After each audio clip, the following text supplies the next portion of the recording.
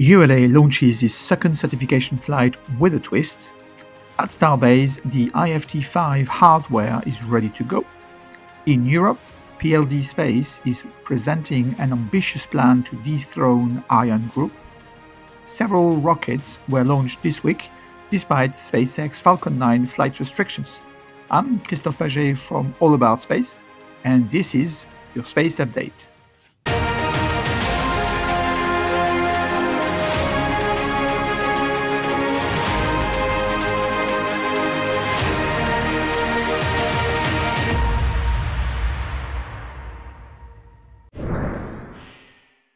ULA has finally launched its second certification flight of its new Vulcan Centaur rocket.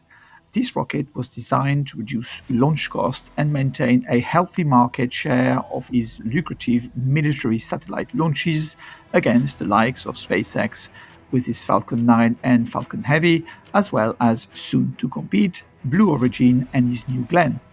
The second flight test was important to take place now, as ULA has two US Space Force launches contracted early in December this year the missions USSF 106 and USSF 87, both with a Vulcan version consisting of four side boosters that ULA do not want to lose for SpaceX, as already done recently. The flight took off on Friday the 4th of October at 11:25 a.m. UTC.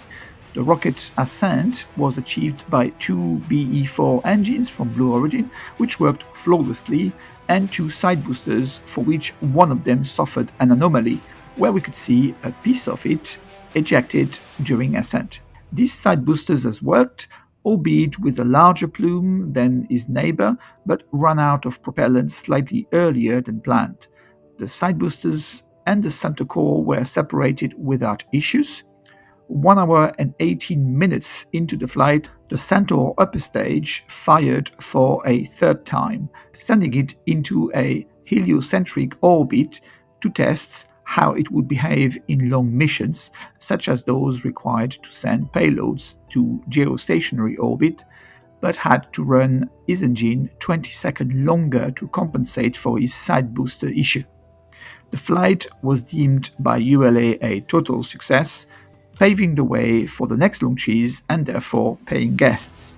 Strangely enough, the FAA has reviewed the incident on the side booster and deemed it not necessary to investigate further, which I must say surprised me somehow when compared to other recent incidents. Tell me what you think in the comments below. At Starbase, SpaceX have installed a load simulator to simulate the peak load of the booster during catch attempt on the Mechazilla Tower number 1. The Starship number 30 has now been restacked onto Booster 12. Both vehicles have also undergone a short wet dress rehearsal, and a day later was even destacked. You might have heard some noise about the possibility of integrated flight test number 5 to occur as of October 13th, but I will not speculate until the FAA is providing the flight license to SpaceX. At the Massey site, the booster number 14 was transported to the Massey site and underwent cryogenic loading testing of both its methane and oxygen tanks. Some more salvaged parts from booster number 11 were transported back to Starbase from the Gulf of Mexico. And here is the aft dome. The Spanish startup PLD Space has announced its long term ambition to become a European powerhouse. Indeed, Back in October 2023, PLD Space successfully launched its Miura 1 rocket, setting it on a strong footing to build its Miura 5 rocket capable of sending 1 metric ton to low Earth orbit. Miura 5 is a two stage conventional rocket running on biokerosene and liquid oxygen with five TEPREL C engines on its first stage and one on its upper stage. Its first stage will be reused based on parachute landing and marine assets for picking it up from the water. Building on this rocket, PLD Space has this ambition to push the boundaries beyond Miura 5, inspired by SpaceX Falcon 9, with what it calls Miura Next, a larger two stage rocket capable of sending up to 8.3 metric tons payload to low Earth orbit and up to 2.9 metric tons to geostationary transfer orbit, with five larger engines on its first stage, still running on biokerosene and liquid oxygen, with a rocket height of 60 meters. His first stage shall be reused too, but based on the same principle as a Falcon 9 with landing legs, landing on a vessel or returning to site expected by 2030. It then intends adding two first stage Miura Next as side boosters to call it Miura Next Heavy by about 2032. PLD expects to carry up to 16 metric tons to low Earth orbit and 7 tons to geostationary transfer orbit. Their aim does not stop even here. They intend to expand to four Miura Next side boosters with an extended fairing size and a rocket height going up to 67 meter tall, for which they call Miura Super Heavy, with an impressive payload to low Earth orbit of 53 metric tons or 23 metric tons to geostationary transfer orbit and even 13.7 metric tons to Mars orbit. All that by 2033. A colossal ambition for such a startup.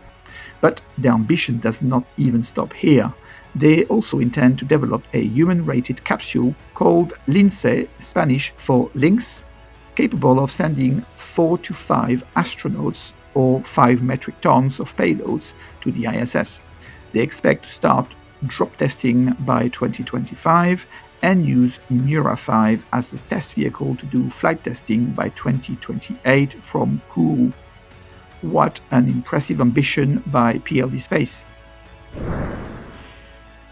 October 4th, ULA launched the second certification flight of its Vulcan Centaur from Florida, as already mentioned.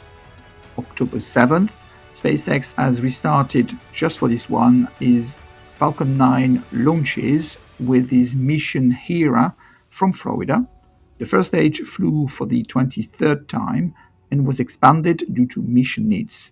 The second stage reached up to 43,000 km per hour speed thanks to the first stage push to finally release the ESA satellite Hera on his interplanetary transfer orbit to rendezvous with Dimorphos. On October 10th, CSC launched a Long March 3BE for his mission Gaogui 3 from China. In summary, from January 1st until October 10th, 2024, 185 rockets were launched successfully. Out of that, 114 were from an American company or institution, and 46 from China. I leave you this week with a James Webb Space Telescope image of the Open Cluster Westerlund 1, a space firework located roughly 12,000 light years away in the southern constellation Ara.